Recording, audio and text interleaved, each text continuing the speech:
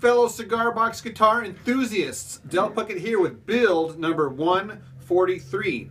This is a genuine Cuban cigar box, as you can tell by the official Habanos logo there, the official seal, and of course the branding on the back. All right, so the thing that makes this guitar unique is I have these wall hangers here and a nice chain that goes around and connects on the top here that serves for the strap. I have these huge oversized nails there for the position markers. This is a just intonated fretboard, meaning that the frets have been moved to correspond to the string. I match the uh, harmonics to the frets. And what that does is it renders these major thirds.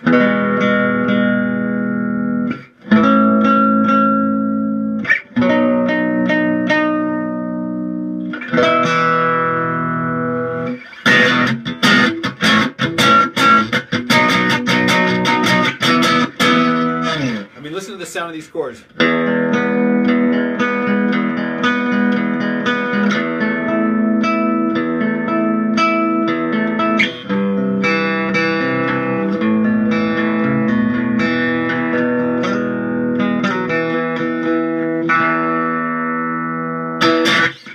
This is a uh, two-way selector switch here that goes in between a large disc piezo and an under the saddle rod piezo and I put it in the middle so I get a blend between the both of them. Sounds very musical. The only other last thing I want to talk about here is these awesome F-holes. Okay, I went online and got a template and trace it on there and cut it out using the scroll saw and it adds a nice classy touch to an otherwise awesome three-string cigar box guitar.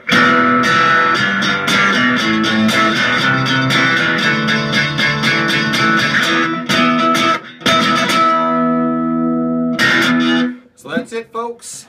Dale Puckett here reminding you that six strings are simply three strings too many. All right, here's a quick look inside. I have a large disc piezo on the top.